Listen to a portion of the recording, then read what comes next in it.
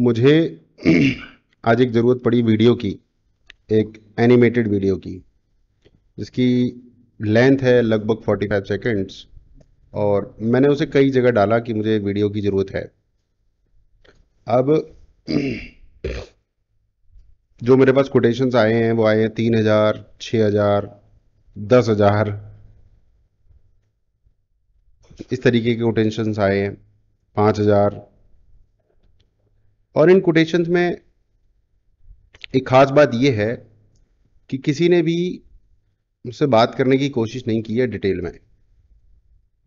किसी ने भी मेरी ज़रूरत को जानने की कोशिश नहीं की है। मैंने पूछा कि चार्ज क्या है?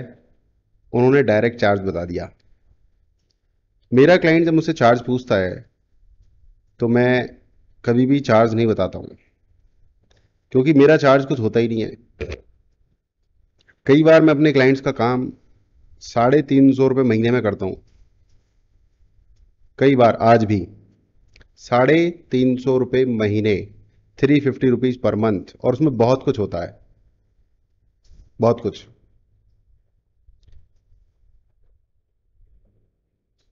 बट उसकी बदौलत मुझे बहुत सारे रेफरल्स भी मिलते हैं, जहाँ से मुझे मोटी इनकम हो जाती है।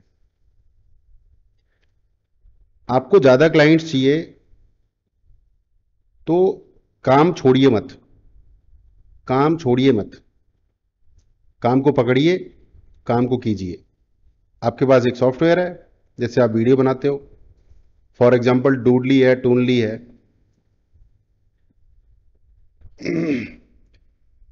अट्ठाईस सौ रुपये का वो सॉफ्टवेयर है, अट्ठाईस सौ, तीन हज़ार रुपये का। मैं उसे खरीद के वीडियो बना ली नहीं मैंने। तीन हज़ार से सस्ता वो ही पड़ेगा मुझे। छः हज़ार से सस्ता पड़ेगा। माय डियर फ्रेंड्स मेरी ग्रामर अच्छी है। मुझे वीडियो एडिटिंग करनी भी आती है, सब कुछ करना आता है। और पूरे महीने में अनलिमिटेड वीडियो वीडियोज़ और बना सकता हूँ। तो आपको पहले अंडरस्टैंडिंग करनी है कि सामने वाला बंदा कौन है। अगर मैं आपसे वीडियो बनवा रहा हूँ फॉर एग्ज़ाम्पल मैं आपसे वीडियो बनवा रहा हूँ, मैं एक डिजिटल कोच हूँ, मैं एक डिजिटल एंटरप्रेन्योर हूँ तो मेरे संपर्क में बहुत सारे लोग और आने वाले हैं, जिन्हें वीडियोस की ज़रूरत पड़ेगी और काम की ज़रूरत पड़ेगी।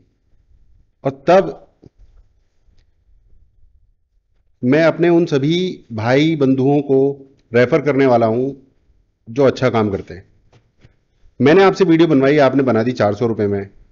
बट जब मेरा क्लाइंट बनवाएगा तो आप उससे पाँच हज़ार ले लो। उसको डूडली डाउनलोड करना नहीं आता, वो वीडियो बनाना नहीं जानता। उसके लिए पाँच हज़ार ठीक है। उससे भी डिस्कस करो कि रिक्वायरमेंट क्या है, कैसे, क्या वैल्यू ऐड करना है आपको वीडियो में। आपका मैसेज क्या है, क्या मैसेज देना चाहते हो, किस तरह की वीडियो रखना चाहते हो, क्या फ्लो रखना चाहते हो। डिस्कशन करें, समझें अपने क्लाइंट को। तो तब समझ में आएँगी ना आपको चीज़ें। आप सीधे सीधे पैसे बता देते हो। और क्या यूज़ करते हो, कोई फ़र्क नहीं पड़ता क्लाइंट को। और डोडली और टोनली भी इतने बेकार नहीं है। वहाँ भी क्रिएटिविटी तो लगती है। राइट खैर, मैं किसी भी उसमें नहीं जा रहा हूँ। मेरा मैसेज ये है कि अगर आप अगर आप दीपक कनक राजू का मैं काम करूँगा तो हो सकता है मैं फ्री में कर दूँ। मेरे जो चार्जेज हैं उस काम को करने के हो सकता है दो लाख रुपए हों। बट हो सकता है दीपक कनक राजू के लिए वो काम मैं फ्री में कर दूँ। अगर वो कहें मुझसे तो। उसका रीजन क्या है? दीपक कनक राजू का एक टेस्टिमोनियल मुझे 40-50 लाख रुपए कमा के दे सकता है। सिद्धार्थ राजशेखर के लिए मैं छोटा सा काम करूँ और वहाँ से मुझे टेस्टिमोनियल मिल जाए तो वो मुझे लाखों रुपए कमाने का मौका मिल सकता है। ब्लेयर सिंगर का मैं काम कोई फ्री में करूँ तो वो मुझे लाखों लाखों लाखों रुपए कमा सकता है। तो मैं आपको इन्फ्लुएंस नहीं कर रहा हूँ गलत तरीके से। मैं सही तरीके से इन्फ्लुएंस कर रहा हूँ। मेरे पास कुछ ऐसे क्लाइंट्स हैं जिनका काम मैंने ऑलमोस्ट फ्री में किया है और वो खुश हुए। वहाँ से मुझे रेफरल्स मिले। आपको यह भी समझना है कि सामने वाला क्या कर सकता है, क्या नहीं कर सकता। फॉर एग्ज़ाम्पल मैं एक बात कहता हूँ कि मुझे एक एक हज़ार वर्ड्स का आर्टिकल चाहिए।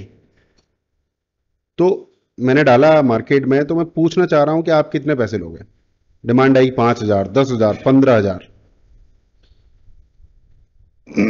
आपने ये नहीं पूछा कि आर्टिकल मांगने वाला बंदा कौन है? पैसे मांग लिए सीधे सीधे this is not the right way सही तरीका नहीं है। आप पहले पता करो कि सामने वाला बंदा है कौन। फॉर एग्ज़ाम्पल अगर मेरे जैसे ही बंदा है मैं ही हूँ मान के चलो या दीपक कनकराजू हैं, सिद्धार्थ राजशेखर हैं, या कोई बड़ा कोच और है, या कोई और भी है कोच टाइप का बंदा, जो दिमाग में उसके बहुत सारी इमेजिनेशन चलती रहती है, और वो आपसे कह रहा है कि एक हज़ार वर्ड्स का कंटेंट लिख दो तो आप पता करो कि बंदा कौन है रिक्वायरमेंट क्या है।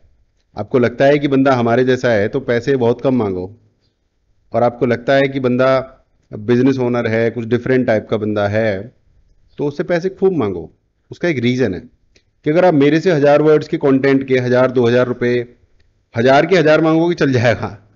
पाँच सौ मांगोगे तो और बढ़िया। फ्री में करो तो और बढ़िया मैंने बहुत लोगों की मदद फ्री में किया मैं इसलिए नहीं बोल रहा हूँ कि आपको फ्री में करवाना चाहता हूँ। मैंने बहुत लोगों की फ्री में मदद करता हूँ टू टू डेट आज भी। बस लोग सवाल पूछ लें और हेल्प मांग लें, मैं कर देता हूँ। अगर मेरे जैसे बंदे का कंटेंट आप पाँच हज़ार, दस हज़ार में लिखोगे तो जितनी देर में मैं आपसे डिस्कशन करूँगा बिलीव मी मैं उतनी देर में दो हज़ार वर्ड्स का कंटेंट लिख दूँगा। दिस इज़ द रीजन कि मैं एक बेस्ट ऐसी एक्सपर्ट हूँ इंडिया में।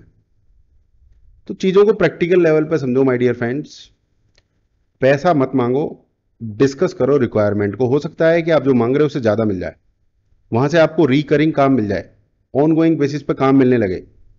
फॉर एग्ज़ाम्पल मेरी तरफ़ से मेरे बहुत सारे क्लाइंट्स हैं रिक्वायरमेंट्स आती रहती है, मैं वीडियो बनाता हूँ और मेरा अगर आप एक जेनुअन अफोर्डेबल रीजनेबल प्राइस पर बनाओगे और फिर मेरी तरफ़ से आपको बहुत सारा काम आने लगेगा